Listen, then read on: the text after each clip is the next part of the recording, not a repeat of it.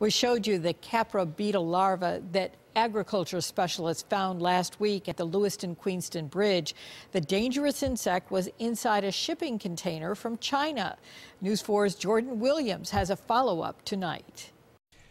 It's a mystery that goes beyond our border. A shipment of ponchos packed with one of the world's most dangerous insects. News 4 just obtained these photos showing the shipping container busted at the border. CBP agriculture specialist at the Lewiston Queenston Bridge spotted the Khapra beetle on the inside of the container's door. Everything we're looking for is, is very small. We're using uh, magnifying glasses to, to determine if there's any pests there and microscopes to try to determine what the pests are. Three millimeters. This is what the live larva look like under a microscope.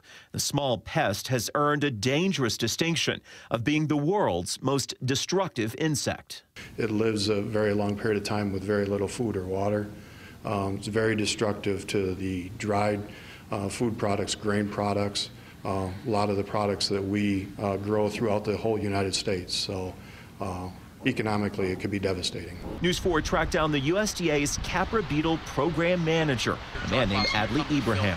We understand that the commodity originated in China, went to Thailand, then went to Canada on July. Ibrahim says specialists are working with the CFIA, the Canadian Food Inspection Agency, to see where the infestation started.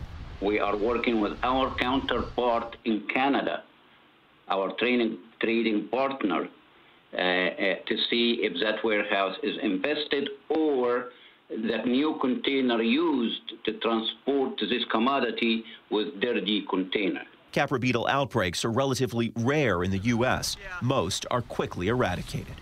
The Khapra beetle is extremely dangerous if it makes it into the grain supply. I'm going to post more information about the beetle, including a list of countries that are infested with the insect with this story. Just check the health section of WIVB.com. In the newsroom, I'm Jordan Williams, News 4.